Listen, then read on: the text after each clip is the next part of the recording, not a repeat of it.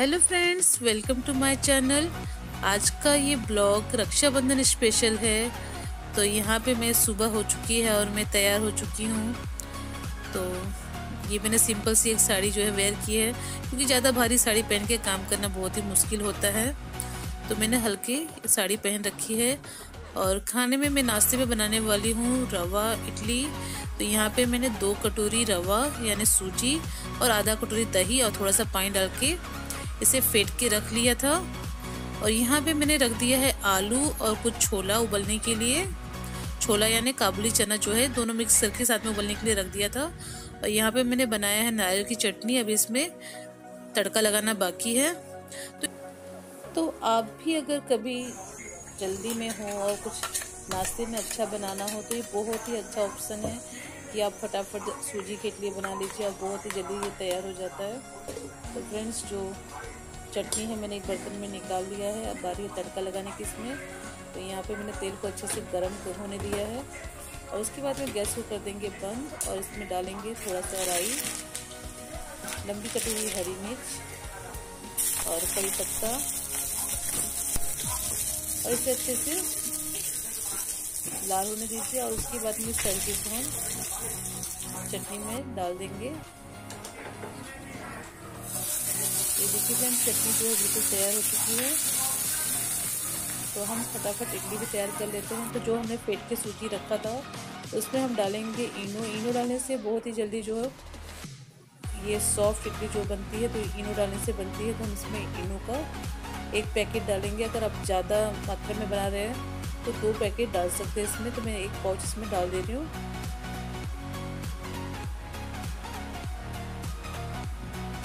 और इसे अच्छे से फेंट लेना। जैसे सब फेंटेंगे, आप देखेंगे, जो सूजी का बेटर है, काफ़ी हल्का हो जाएगा।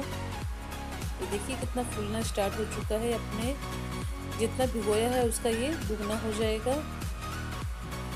ये देख सकते हैं, फूल के कितना दुगना हो चुका है ये। ऊपर आ चुका है, हल्का भी हो गया काफ़ी। और फटाफट हमें इसे फेंट के इडली के बर्तन में भर लेना है। तो इडली के बर्तन में डालने से पहले इसमें थोड़ा सा लगा लेंगे तेल ताकि जो इडली है वो इसमें चिपके नहीं तो तेल को लगा लीजिए इस तरह से अच्छे से। और उसके बाद में हम इसमें इडली का बैटर भर देंगे। थोड़ा सा खाली रखना है ताकि जो ये फूलने के बाद में ये जो खाली जगह है वो कवर कर लेगा। अब मैंने इडली का जो बर्तन है उसमें पानी रख के रख दिया है गर्म होने के लिए। अब पानी देख सकते हैं। अच्छे से गर्म हो चुका है। अब मैं इसमें ये बर्तन जो है रख दूँगी प्लेट्स जो इडली के, सारे लगा के रख देंगे। अब मात्र 20 से 25 मिनट में आपका जो नाश्ता है तैयार हो जाएगा। तो आप भी ये रेसिपी ज़रूर ट्राई करें और कमेंट करके ज़रूर बताएँ कि आपको ये रेसिपी कैसी लगी। पसंद आए तो लाइक शेयर और सब्सक्राइब करना बिल्कुल ना भूलें। तो ये देखिए, इडली जो है तैयार हो चुका है। अब इसे ढक के पंद्रह मिनट के लिए हम इसे पकने देंगे। पंद्रह मिनट हो चुके हैं तो मैं इसे चेक कर ले रही हूँ। ये देख सकते हैं इडली काफ़ी अच्छे से फूल के ऊपर आ चुकी है। तो आप एक चक्कू की सहायता से आप चेक कर सकते हैं, जो इडली अच्छे से पका है कि नहीं अंदर तक। तो इस तरह से चक्कू लेके डालिए और ये अच्छे से साफ़ सुथरी निकल तो समझिए इडली हो चुकी है। तो नाश्ता करने से पहले बारी है राखी बांधने की। तो राखी की जो थाली है, तैयारी हो चुकी है। तो आज जो है मेरे हस्बैंड की बहन यानी मेरी ननद दीदी आई हुई हैं तो उन्होंने भी अपने भाई को राखी बांधा। तो सारा जो फ़ोटो है आप देख सकते हैं और मैंने भी अपने भाई को राखी बांधा है तो ये मैंने अपने भाई को राखी बांधा है ये देखिए यहाँ पे मेरे भैया हैं। ये हमारा फैमिली फ़ोटो देखिए, मेरी बहन, मेरा भाई, मैं और मेरी दीदी। और यहाँ पे मैंने अपने पापा के साथ में फ़ोटो लिया है और साइड में मेरी बहन और मेरी दीदी खड़ी हुई हैं। तो मैंने सोचा आपके साथ भी शेयर करूँ ये फ़ोटो और अब बारी है नाश्ता करने की तो नाश्ते में देख सकते इडली जो है बिल्कुल तैयार है। तो देखिए फ्रेंड्स हमारा जो नाश्ता है बिल्कुल तैयार हो चुका है। और बहुत ही सॉफ्ट बना हुआ है। तो मैं जा रही हूँ नाश्ता करने आप भी आ जाइए। नाश्ता होने के बाद में मैं आ चुकी हूँ किचन में। सारी चीज़ें दिखाना बहुत ही मुश्किल हो रहा था, क्योंकि बहुत से लोग थे, खाना बनाना था, सब कुछ करना था। तो यहाँ पे देख सकते कचौड़ियाँ जो हैं, बन रही हैं। और साइड में जो खीर है, खीर सॉरी, सेवई जो है, वो बनने के लिए रखा हुआ है। तो जो मैंने आलू उबालने के लिए रखा था तो आज जो कचौड़ी बन रही है, आलू की कचौड़ी बन रही है तो इस तरह से भर के कचौड़ी को आप चाहे तो छोटी या बड़ी बना सकते हैं। तो हमारे घर में बड़ी बड़ी कचौड़ियाँ जो है, खाना ज़्यादा पसंद करते हैं। तो ये रही थाली हमारी खाने की। दो सब्ज़ी बनाई, एक तो छोला की और ये आलू फ्राई, और यहाँ पे सेवई, दिखा रहा हूँ और ये राइस है, ये वेज राइस है, सारी सब्जियों को मिक्स करके बनाया, और पापड़, और ये आलू की कचौड़ी है। तो फ्रेंड्स, अब हो चुका है शाम। तो शाम का खाना कुछ बनाना नहीं है, क्योंकि अभी फ़ोन आया था मेरे भाई का कि हम लोग बाहर जा रहे हैं।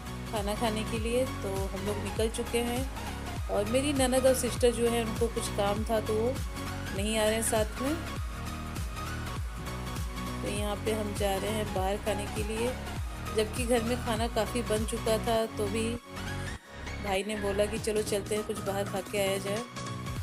तो रक्षाबंधन है तो चलता है थोड़ा सा, मस्ती। देखिए, हम आ चुके हैं होटल में। तो ये फ्रेंड्स हमारा जो रक्षाबंधन का जो ब्लॉग था, आपको कैसा लगा? कमेंट करके ज़रूर बताइए। तो हमने क्या क्या ऑर्डर किया था, मैं आपको बताने वाली हूँ। तो मेरी बेटी मेरे हस्बैंड साइड में बैठे हुए हैं। तो यहाँ पे चाइनीज़ सबको ज़्यादा पसंद है तो ये चाइनीज़ का आइटम जो है मंचूरियन और ये टेबल फ्राई राइस हम लोग ने ऑर्डर किया था। काफ़ी टेस्टी था खाने में। तो नॉर्मली हम जो खाना है घर में बनाते रहते हैं, चाहे पूड़ी हो, रोटी हो, छोला है तो बाहर जाए कुछ अलग रेसिपी ट्राई करें तो ज़्यादा अच्छा लगता है, जो हम जल्दी घर पे नहीं बनाते हैं। तो ये मेरी थाली है। अभी मेरी बेटी मोबाइल लेके मेरा वीडियो रिकॉर्ड कर रही है। अब मैंने ध्यान नहीं दिया था, लेकिन बाद में बोला, मम्मा, आप इसको ऐड कर दीजिए उसमें। तो ये खाना पीना खा के हो चुका है।